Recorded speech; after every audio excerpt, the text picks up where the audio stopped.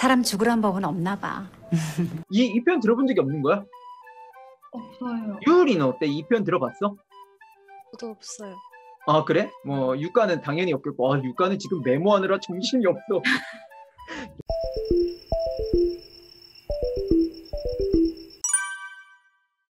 왜 헤어졌는지는 묻지 마. 남들 다 헤어지는 아주 뻔한 이유로 헤어졌어. 아, 일본어로 음. ありきたりな理由で別れた。 응응응 안 데, 어, 제가 뻔하다를 찾은데 음. 의미가 なんとかするところだった。 음, 아, 아, 다른가. 그 뻔하다랑 이 뻔하다는 전혀 다른 뻔하다야. 아, 다른 거. 어, 다른 뻔하다야. 뭐뭐 할 뻔했다 했을 때 그 뻔하다. 뭐뭐 할 뻔했다라는 표현 알지, 말이야. 네. 어떤 식으로 표현해? 한국말로? 어, 뭐 예를 들어 제가 과자를 아까 먹었는데 음. 조금만 먹을 먹으려고 했, 했는데 다 먹을 뻔했다. 역시, 뭐 역시 말이야. 손이 넘어가서 이제 다 먹을 넘어가서. 뻔했다. 조금만 먹으려고 했는데 다 먹을 뻔했어. 너무 맛있어서 그지. 그런 거를 뻔어 할 뻔하다라는 표현이야. 여기에서 나온 뻔한 이유라는 그 뻔한은 전혀 다른 뻔한이야. 음. 여기서 뻔한 뻔하다라는 그 뻔하다라는 거는 아키라카다라는 뜻이야. 아, 음, 너무나 도 당연하다, 흔하다, 뭐 이런. 근데 이제 뻔하다는 흔하다랑은 조금 다른 의미이기는 한데 뻔하다, 아, 네. 그래서 그 뭐뭐 할 뻔하다의 그 뻔하다랑 여기에 그 뻔하다라는 다른 발음은 물론 똑같지만 전혀 다른 의미의 뻔하다라는 뜻이 되는 거야. 지옥 같은 시간들이었는데 그래도 아들 하나는 건졌네. 아, 건지다라는 표현이 뭔지 알아? 잘 모르겠어요. 건지다 뻔히 이거 되게 뻔한 표현인데 뻔하다.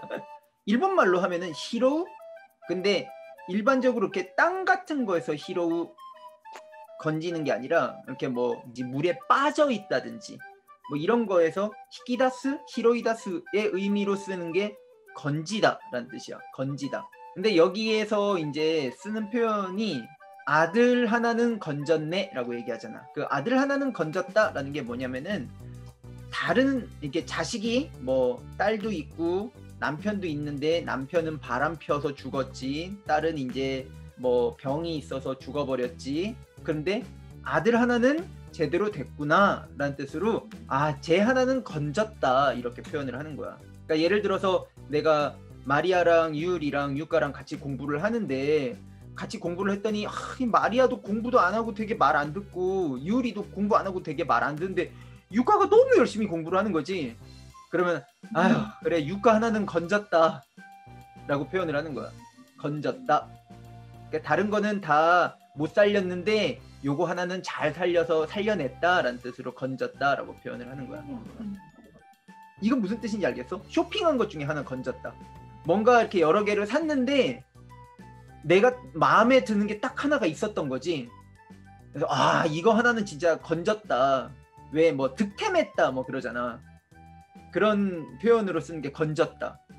라는 표현이야. 그러니까 딱 내가 기대도 하지 않았는데 너무 괜찮은 뭐 물건을 하나 살 수 있었다 이런 의미로 쓰는 게 건졌다라는 표현이야. 나도 너희들 중에 하나는 건질 수 있도록 열심히 해야지. 사람 죽으란 법은 없나 봐. 이, 이 표현 들어본 적이 없는 거야? 없어요. 유리는 어때? 이 표현 들어봤어?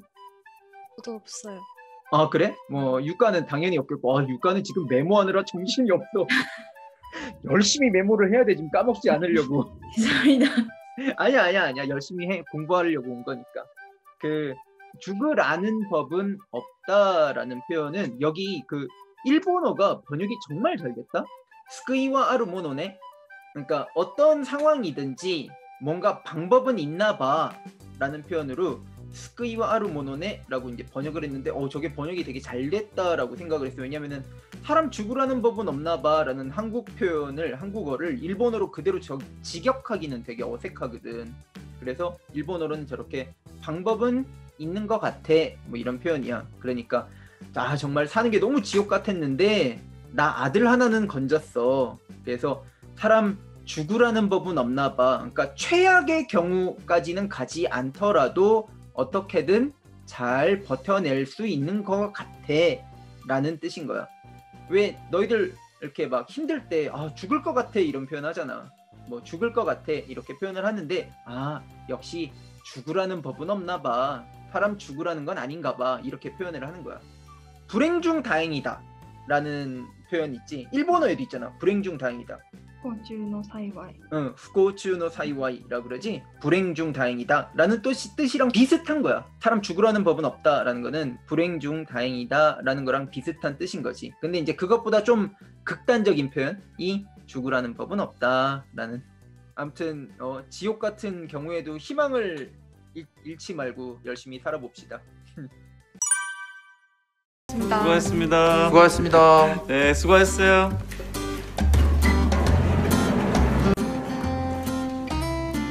1% 1%. 어떻게 사만해? 어. 아, 아, 아.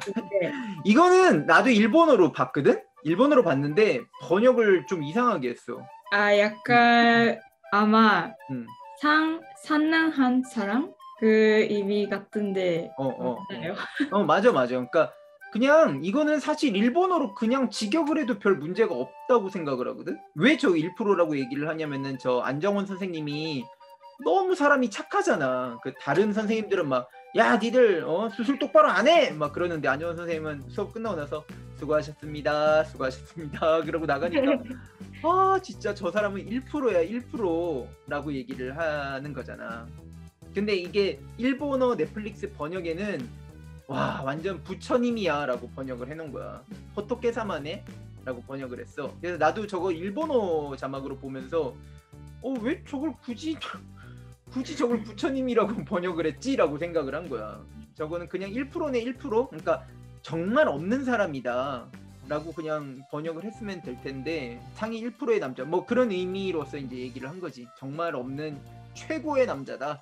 최고의 선생님이다. 뭐 그런 뜻으로서 얘기를 한 게 이거야. 되게. 되게. 되게가 되게 싸길래 많이 샀어. 어저 되게라는 표현 알아? 되게? 네, 되게 그, 거의 흔히각이었지 이렇게 쓰는 거, 이렇게 쓰는 거, 되게 이렇게 쓰는 거. 네, 이렇게 쓰는 거. 네. 뜻은 뭔데? 되, 되게 쓸 줄 아는데 뜻은 몰라? 예, 되게 되게 유, 유리 되게가 무슨 뜻입니까? すごく 또. 응, すごく 엄청이라는 한국말로 얘기하면 엄청 아, 아니면 뭐 표준말로 하면 너무나 뭐 너무도 이런 뜻이지.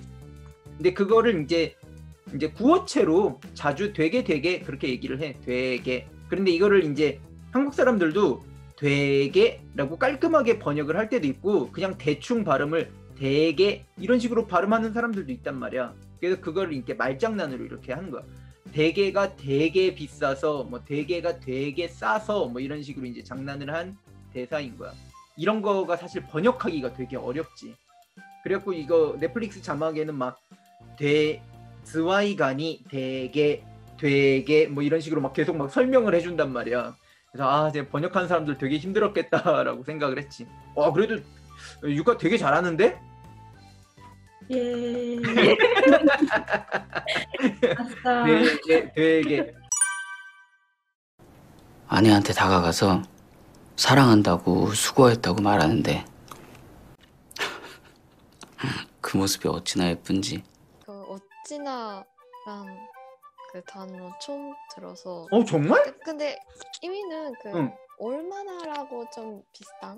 응, 응, 맞아, 맞아. 얼마나 너무 아 응. 근데 그 어느 정도를 표현할 하는지 응, 응. 궁금해서 어 어찌나 어, 어찌나라는 표현을 처음 들어봤다는 게 되게 신기하고 일단 뜻은 마찬가지로 유리가 아까 얘기했던 것처럼 너무나도 도떼모라는 뜻이야 도떼모 어찌나 근데 이 감정이 느끼는 그 대상한테 되게 강하게 들어간 느낌이야 근데 일반적으로 회화에서는 정말 많이 쓰는 표현이야 많이 써 어찌나 여기 지금 댓글에 어찌나는 대부분 어르신들이 많이 쓰는 것 같아요. 라고 얘기를 해. 근데 음, 말을 듣고 보면 좀 그런 것 같기도 하다. 그렇게 젊은 사람들은 쓰는 표현은 아닌 것 같기는 해. 어찌나. 아우 그냥 너희들이 이렇게 열심히 공부하는 모습을 보니까 어찌나 예쁘던지 이렇게 표현을 하는 거야. 그러니까 이제 여기에서 이제 양석현 선생님도 정말 그 의사 선생님의 마음으로서 그리고 나이가 좀 있는 사람이니까 40대 그러니까 아휴 어찌나 예쁘던지 뭐 이런 식으로 이제 표현을 한 표현인 것 같아. 어찌나.